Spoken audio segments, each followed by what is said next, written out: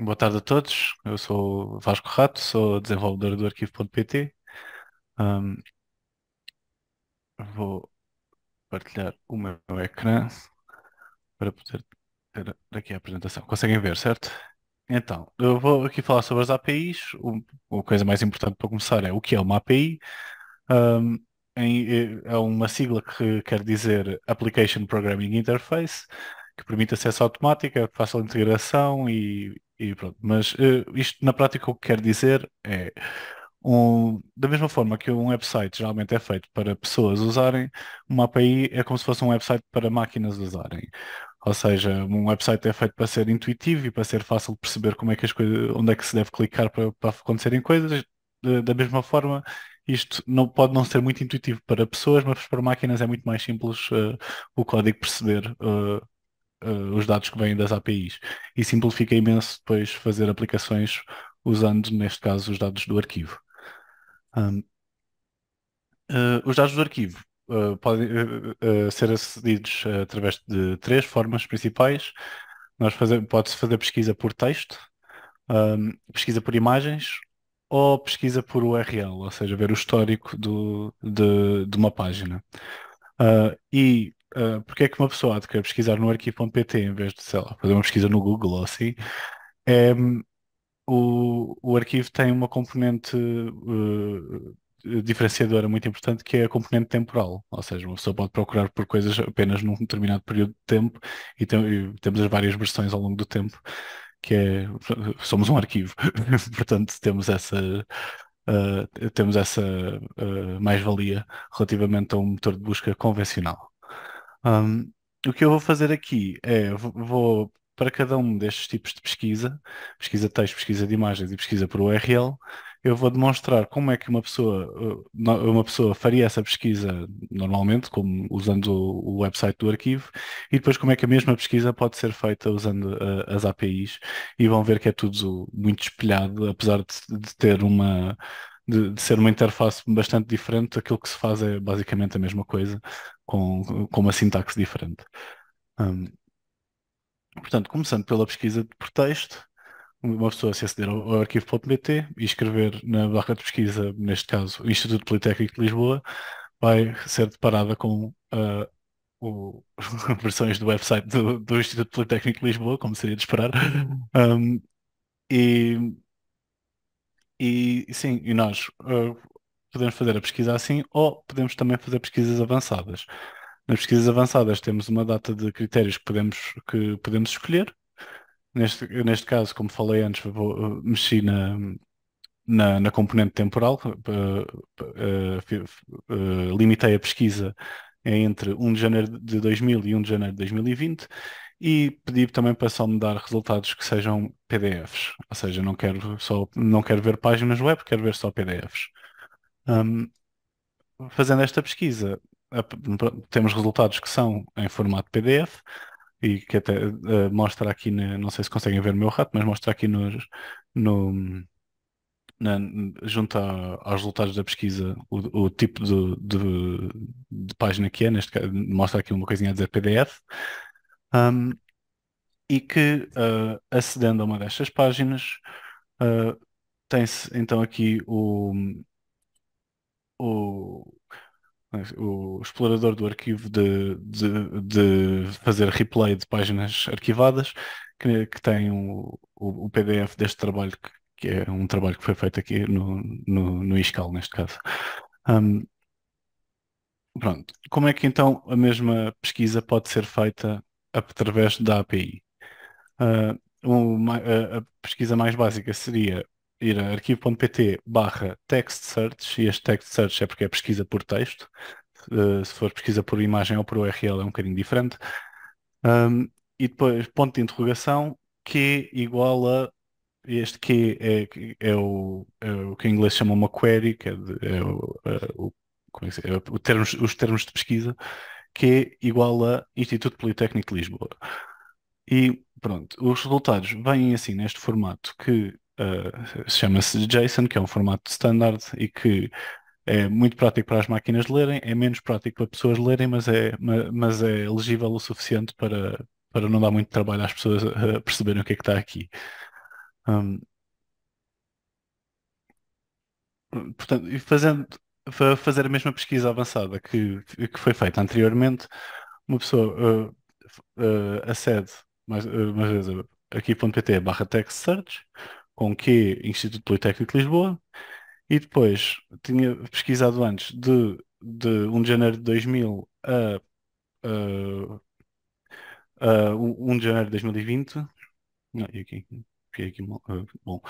Um, e um, uh, isto uh, traduz em pôr, ir pondo parâmetros no, no URL da página. Ou seja, uh, usando este o, o e-comercial entre cada uma das, das dos parâmetros, faz from igual a 2000 para fazer resultados a partir do ano 2000.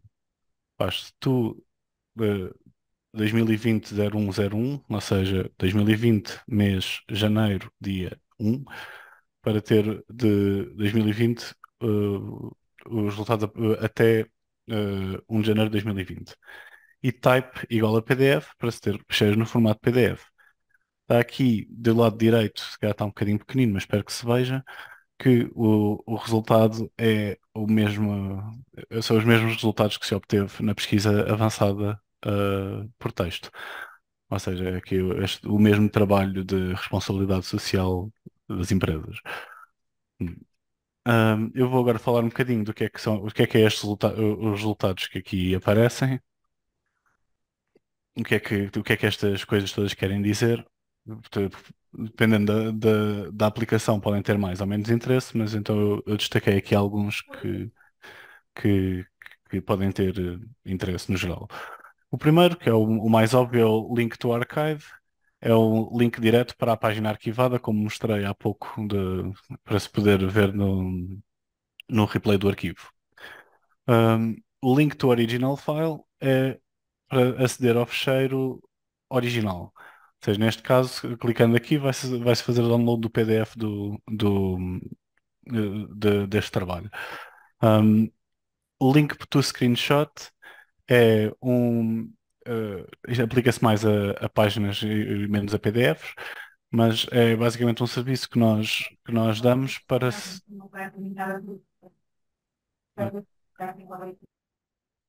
Uh, é um, o serviço que nós disponibilizamos para uh, fazer uma ter uma foto à, à, página, basicamente. É uma, uma espécie de um, de um print screen, mas é um print screen um pouco mais composto, que depois que é, é possível um, editar as dimensões do, do, tipo, pedir que queres um, um, um, screenshot com estas dimensões, ou então pode-se dizer para fazer a página inteira e ele faz scroll down na página toda até, até ao fim da página.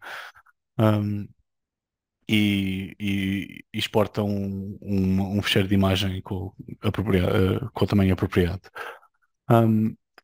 E depois o, temos também o link to extracted text, que é um, nós pegamos na página e extraímos todo o conteúdo textual da, da página, sem, um, ou seja, em vez de ser a, a, página em si, é, é como se fosse um fecheiro TXT só com com, com o texto que estava lá dentro. Isso pode dar muito jeito para fazer, para fazer análise de, de textos e de, de ou coisas. Agora, agora a, a, inteligência artificial está muito, está muito na moda e esse tipo de coisas. Isto pode, pode dar jeito para fazer esse tipo de, de, de trabalhos. Um, pronto, passando para a pesquisa de imagens. É, mais uma vez, é bastante simples. Uma pessoa faz uma, um, uma query no, na, na barra de pesquisa e, e, e carrega em imagens e, um, neste caso, pus Instituto Politécnico de Lisboa e, e tem acesso a, a, a várias imagens no, que estão disponibilizadas pelo arquivo.pt e, mais uma vez, temos também o acesso à pesquisa avançada que aqui uh, limitei a data temporal de 6 de agosto de 2013 até a data de hoje. O, limitei o tipo de formato para PNG e disse que só queria uh, imagens que, que, viessem do website ipl.pt. Pronto. Um, fazendo esta pesquisa, po- podem ver, te- te- temos aqui uma data de exemplos de imagens que vêm do ipl.pt de- dentro do, do, do range temporal eh, especificado e isto aqui é tudo em formato PNG. Um, a mesma pesquisa pode ser feita usando as APIs, portanto, o- o- a pesquisa base é arquivo.pt barra image search, porque agora é pesquisa de imagem, não é pesquisa por texto. Image search, ponto de interrogação Q igual a o que se estiver a pesquisar, neste caso, Instituto Politécnico de Lisboa. Hum. E, e pronto, e como isto aqui é muito semelhante à, à pesquisa por texto, muda basicamente de text search para image search, mas, esta, mas estes parâmetros são. hum, eh, funciona tudo da mesma forma. Nós tentamos que, que as nossas APIs sejam mais eh, consistentes entre elas para, ah, pronto, uh, para ser mais fácil uh, a interoperabilidade entre elas e não se ter de aprender uma coisa diferente todas as vezes. Um, portanto, aqui fazendo a, pesquisa uh, com type PNG e site search, que é para fazer limitar o website, obtém-se resultados do, do site ipl.pt e, e pronto, isto aqui é o, é, é- é o primeiro resultado que aparecia também no, na pesquisa que, que mostrei antes. Um, e, e sim, o- aqui no caso da, da pesquisa de imagens há um pormenor que é importante ter em conta, que é ah, nós te- tem- temos a não só ah, não temos só um link to archive, temos um page link to archive e image link to archive. Isto porquê? Porque uma imagem nunca está no vácuo, uma imagem está sempre no contexto de uma página da web. E portanto, nós temos a imagem diretamente arquivada, um, e que está aqui, Image Link to Archive, e o- a página onde, as- onde a, a imagem foi encontrada. Muitas vezes a mesma imagem até é usada em, em mais que uma página. Um, portanto, uh, uh, temos para, para, as dois, para os dois casos, temos também timestamps diferentes para quando é que recolhemos a, a página, quando é que recolhemos a imagem, porque podem não, não ser o, o mesmo. Um, neste caso foi basicamente na, na mesma recolha, que isto aqui tem, tem só minutos de diferença. Um, uh, pronto. Uh, finalmente, dá para fazer também pesquisa por uh, URL. Uh, uh, no arquivo.pt basta inserir um URL e, e- e carregar Enter e tem, uh, eh, disponi- eh, é mostrado o histórico de versões que nós temos, ou em formato tabela ou em formato de lista. O lista é o, é o por default, mas o tabela é o mais eh, visualmente apelativo. Apesar, mas o lista é mais fácil de navegar, na minha opinião, pelo menos. Um, e pronto, neste caso temos o- eh, versões do site do IPL arquivadas eh, desde 1998. Um, e clicando em qualquer uma destas versões, acede-se ao, à versão arquivada, neste caso ah, no, na a versão de 30 de outubro de 2004, temos aqui como o site era na altura. É também importante di- dizer que estas versões são ah, navegáveis, não são só tipo uma fotografia ou uma coisa assim, é, clicando nos links dá para, dá para, para interagir com o website como se estivesse a ver na altura. Pronto. Ahm, uh, para, uh, para consultar uh, o, o histórico de, usando a API, ahm, nós aconselhamos a usar uma, uma, um- uma feature, uma, como é que se diz? Um, um- uma feature do, do- da nossa pesquisa por texto, que é o version history em vez do key. Isto porque, fazendo a pesquisa assim, tem-se as coisas no formato da, da, da API uh, do texto e, portanto, tem-se os mesmos resultados que, que tinha falado antes. Estes links do, screen, do screenshot, o, o, original file e essas coisas assim que, que depois já vou falar de outras formas de também fazer pesquisa por URL que têm outras vantagens, mas que são eh, o, o- os resultados são menos completos. Um, mas pronto, então o formato disto é text search, ponto de interrogação, version history, igual a, e depois o website que se está à procura. Um, pronto, outras formas de fazer esta pesquisa é, uh, temos uh, a nossa a CDX API, uh, isto internamente é eh, são os índices que nós usamos para encontrar, que o, nosso sistema usa para encontrar os ficheiros quando, se vai, quando se, um, um utilizador tenta abrir uma página e, e o, é a partir deste, destes índices que, que, que, nós conseguimos saber em, em que servidor é que, é que, essa página está e, e conseguir eh, mostrá-la ao, ao, utilizador. Portanto, isto aqui tem este formato um, críptico, para dizer o, o, o, pronto, mas que é, mas uh, isto tem uma, uma vantagem que é, é muito mais rápido e é, muito, e, e é mais uh, exaustivo. Mesmo que depois que os resultados sejam um pouco incompletos, tem, a informação que tem é muito básica, é só o URL, o tipo de fecheiro e, e assim umas quantas outras informações mais técnicas, mas que têm menos interesse. Não, não tem nenhum daqueles links que, estava, que, que, que expliquei anteriormente. Um, no entanto, uh, isto é, é, muito mais uh, rápido fazer uma pesquisa por aqui e também se consegue encontrar coisas que no outro não se, não se conseguiria, por exemplo, que, que geralmente não têm interesse, mas que para, para uh, investigação e assim pode ser que tenha, que é encontrar tipo páginas 404 ou páginas uh, encontrar vezes em que se encontra sites que estavam em baixo, coisas assim uh, que nós uh, filtramos fora na, de, de, das outras APIs porque na esmagadora maioria dos casos não tem interesse. se uma pessoa estiver interessada em fazer uh, download em massa de, ou fazer uma pesquisa muito exaustiva por, em algum tema, nós aconselhamos, nós uh, uh, abrimos há relativamente pouco tempo o fazer o download em bulk destes fecheiros CDX. Os fecheiros CDX são essencialmente isto. cada, fecheiro tem, cada, linha do fecheiro é uma coisa deste género.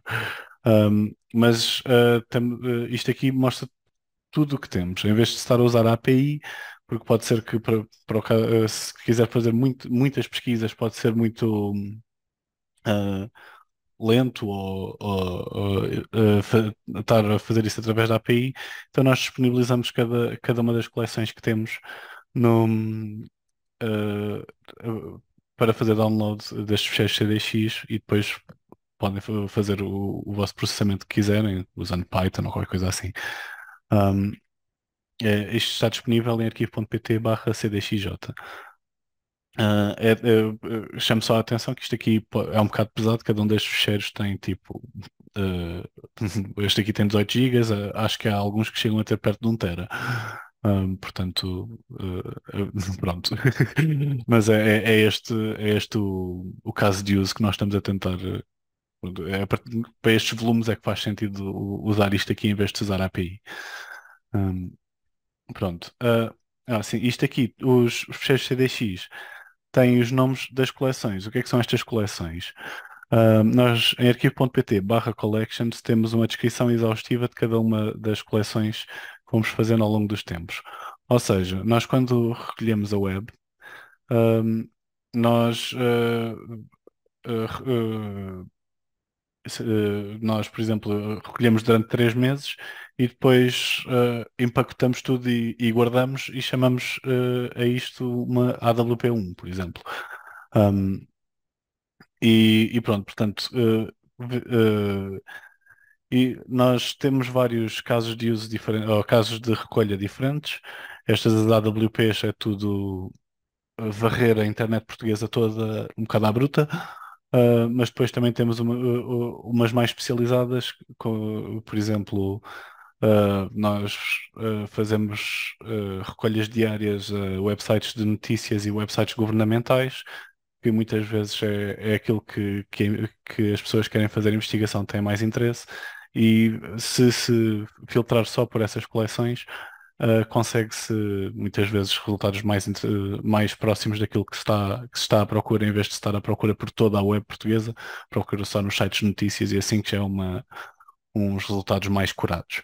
Pronto, e para, para poderem ver o, que é que nós temos disponível e estas coleções todas que nós temos é arquivo.pt barra collections.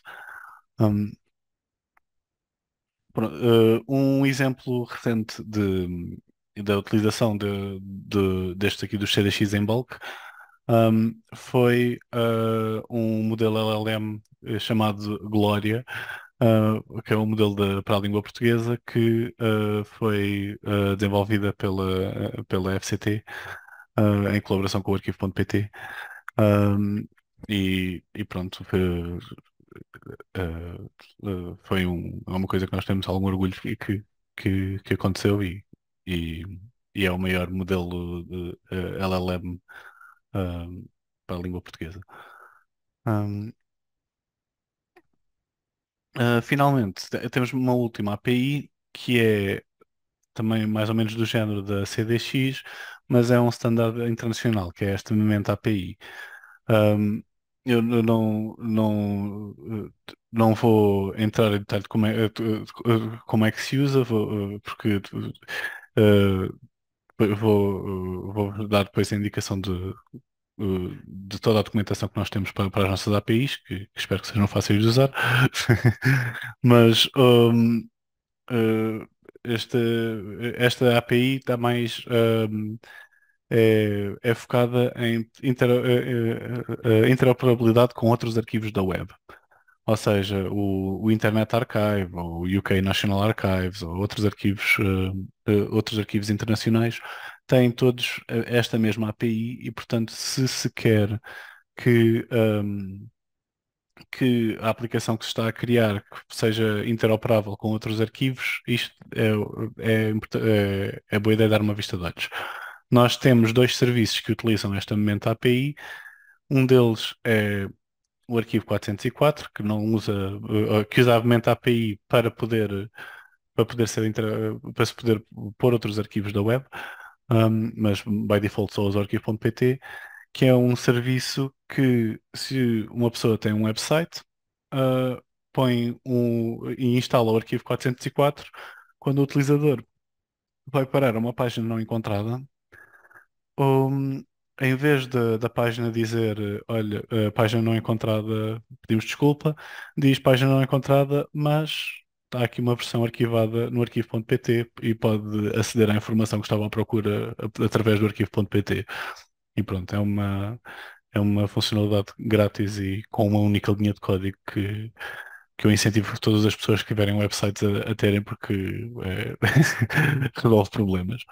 Um, Outra, outra funcionalidade que nós temos e que usa também a, a API Memento é este Complete Page no, uh, no arquivo.pt, quando uma pessoa está tá a visitar uma página arquivada e, sei lá, se notar que tem imagens em falta ou coisas assim, pode ir ao menu de lado e clicar em completar página e é levado aqui para, este serviço do Complete Page, que o que faz é procurar tanto na, na web viva como noutros arquivos da web a ver se tem os recursos que estão em falta e, no momento, reconstruir a página com os recursos que encontrar, se, se os encontrar. Um, portanto, uh, o, uma página que estava com uma outra imagem em falta vai só complete page e, na esmagadora maioria das vezes, uh, essa página que estava com coisas em falta passa a estar completa. Um, isso, e assim os próprios utilizadores ajudam-nos a manter um, um arquivo melhor, mais, mais curado. Um, pronto.